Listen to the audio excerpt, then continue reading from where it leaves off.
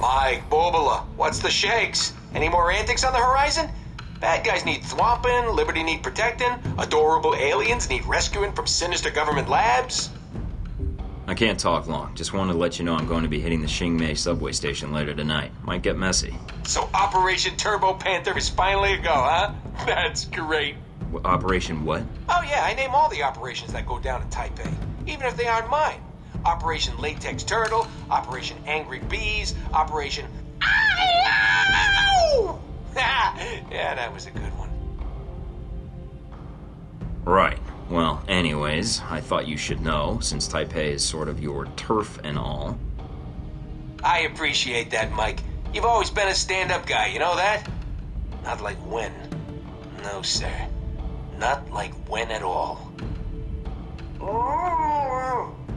I'll get to you in a minute, Mr. Impatient Pants.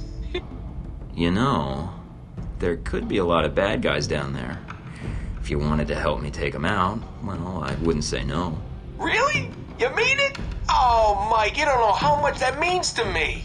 So you'll do it. Will I do it? Damn right I will. You just go do your thing. I think you're gonna like the surprise I got cooked up. Why do I get the feeling you've planned this? Because I have, Mike. Right.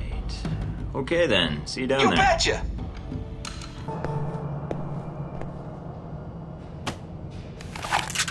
Hey, What? He's here! You said this location was safe. Kill him! Mike, your target is on the move. Don't let him get away.